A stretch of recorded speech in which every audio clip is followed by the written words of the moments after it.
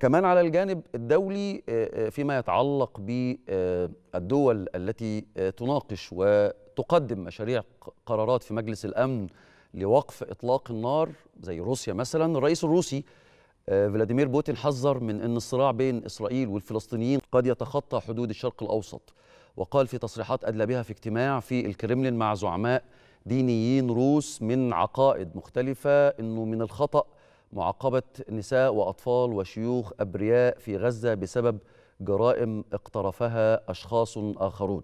واضح جدا طبعا من كلام الرئيس الروسي أن هناك محاولات من القوى الغربية وبعض القوى الأخرى لتوسيع دائرة الصراع وده في الحقيقة اللي حذرت منه مصر وبتحذر منه دايما من بداية الأحداث في 7 أكتوبر. كانت مصر دايما صوت العقل اللي بيرى المستقبل القريب والبعيد خصوصا إن الصراع ده ممكن يقود المنطقة لسيناريوهات الفوضى على المستويات المحلية والإقليمية. وأكيد كمان إن استمرار الصراع ده هيأثر على اقتصاد دول المنطقة وأمنها.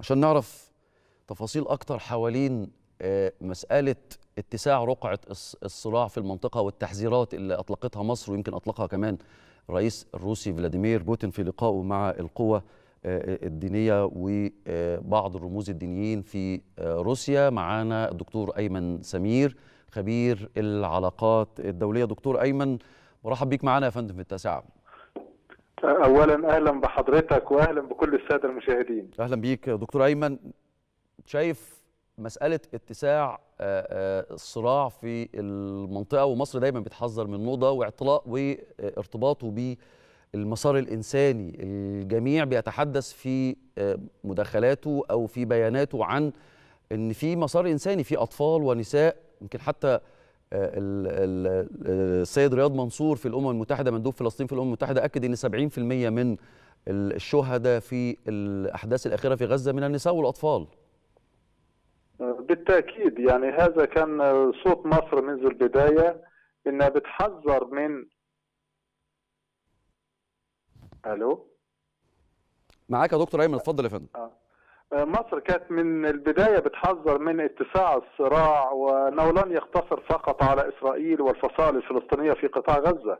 يعني مبدئيا الصراع بالفعل هو اتسع لم يعد فقط في قطاع غزة. نحن نشاهد أيضا الأمور تتفاقم في الضفة الغربية الجبهة الشمالية أو الحدود الجنوبية للبنان ما بين إسرائيل وحزب الله تقريبا لا تنقطع الاشتباكات وإن كانت بشكل يعني يعني محدود وبحسابات ما أيضا جبهة مثل الجبهه في العراق وفي سوريا وحتى الحوثيين في اليمن كل هؤلاء مرشحون أن يدخلوا على الجبهة بشكل كبير للغاية. م. الجيش الأمريكي أعلن بالأمس عن إصابة 24 جندي أمريكي نتيجة لهجوم بمسيرات من قبل تنظيمات مسلحة في العراق وفي سوريا. أيضا السفن الحربية الأمريكية اعترضت صواريخ باليستية بعيدة المدى وطائرات مسيرة انطلقت من اليمن من الحوثيين وكانت في طريقها إلى جنوب جنوب إسرائيل. كل هذا في تقديري وفي ربما حتى هذا كان يشير إليه الرئيس بوتين بروفا لما يمكن أن تتسع عليه الحرب في المنطقة. ناهيك عن ما قامت به الولايات المتحدة الأمريكية، الولايات المتحدة الأمريكية أرسلت عشرة منظومات دفاع صاروخية أبرزها باتروت وثاد. ومعروف إن هذه منظومات غالية جدا وأسعارها مرتفعة ولا يمكن للولايات المتحدة الأمريكية أن ترسلها بدون أن يكون هناك حسابات على الأرض تقول أن الحرب يمكن أن تتسع.